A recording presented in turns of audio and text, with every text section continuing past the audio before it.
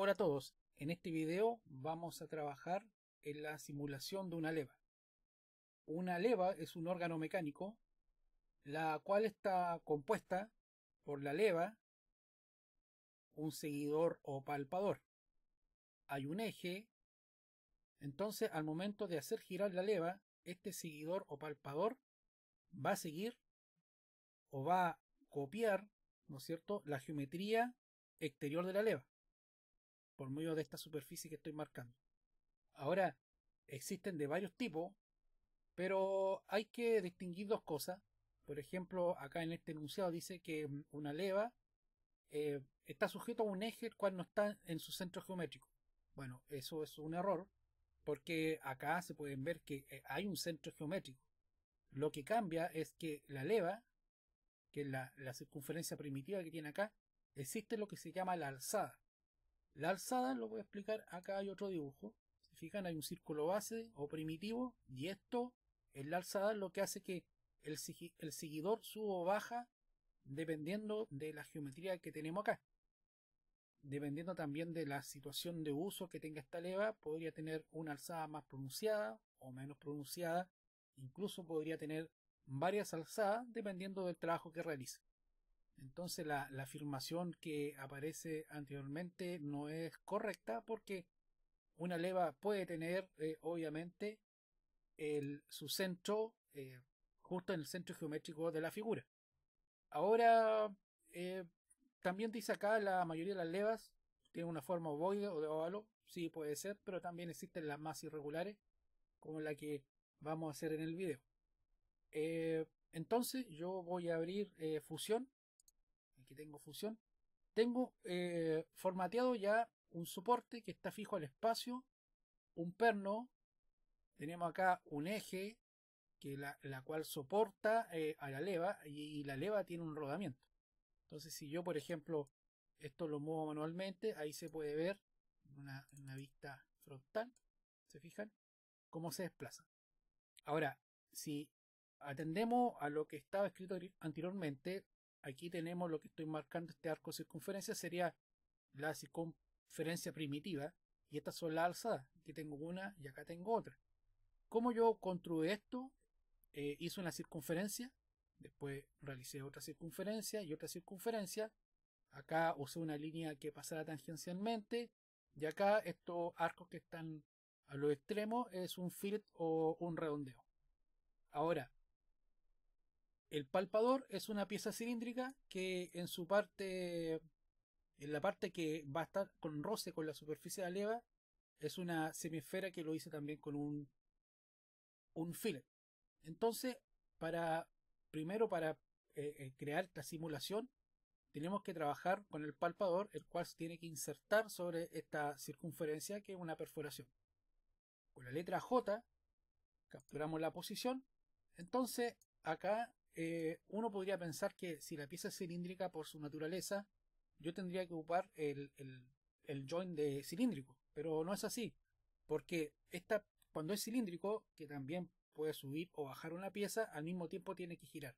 Y nosotros lo que queremos es que sube y baja y no gire. Entonces vamos a ocupar un slider. Entonces el slider marcamos el joint central del palpador con la parte superior del soporte. Entonces ahí se ve una, animación, eh, cuál va a ser el movimiento del palpador. Ok. Si nosotros colocamos esto de frente, yo tendría que girar esta leva manualmente en esta instancia y este seguidor debería siempre tocar tangencialmente la superficie de la leva. ¿Se fijan? Entonces ahora tenemos que hacer, eh, vamos a hacer una prueba. Para ello vamos a ocupar la solución de contacto. Entonces creamos una nueva solución de contacto, marcamos el palpador y la leva. entonces esto lo, lo vamos a dejar así. Vamos a ver de frente. Si yo lo toco aquí, pasa que si bien funciona en una primera instancia, ahí sigue, sigue ahí, debería levantar el palpador, pero el momento de que la alzada, esta parte yo la siga girando, eh, el palpador no baja, ya que desafortunadamente fusión en, en esta instancia todavía no trabaja con el, con el concepto de masa o de gravedad en algunas piezas. Entonces esto debería bajar y seguir obviamente el recorrido de la leva. Pero para ello existe, no sé si llamarlo truco o, otra solución alternativa, la cual eh, para ello debemos necesitar o saber cuál es la distancia eh, mayor, ¿no es cierto? O digamos, mejor dicho, la distancia menor del radio de la leva, que sería esta distancia que estoy marcando, lo que implica que también sería la distancia menor, ¿no es cierto?, del palpador desde la parte superior a la base. Por ejemplo, si yo lo dejo acá, aquí tengo una distancia mayor del centro a la alzada y obviamente la distancia desde la base a la superficie del palpador también es mayor. Pero lo que necesitamos es al revés. Esta distancia es la que está carente porque ya sabemos que con solución de contacto funciona al subir al máximo. Pero esto no. Entonces, aquí tenemos que bajar y ver qué número está dando la medida de la alzada. En este caso, el palpador dice menos 5,72.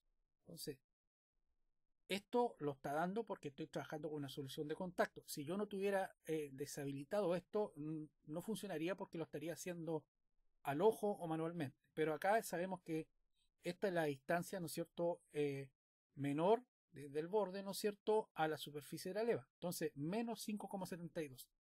Ok, eh, ahora vamos a deshabilitar eh, la solución de contacto, entonces esto ya no está funcionando, se fijan, está moviéndose en forma libre. Bien, ahora vamos a hacer la simulación. En ese slider, acá hay una flecha, la vamos a marcar y termina el límite máximo mínimo de cualquier join que queramos hacer, no solamente de slider, también puede, puede ser un pin slot o un cilíndrica o etcétera.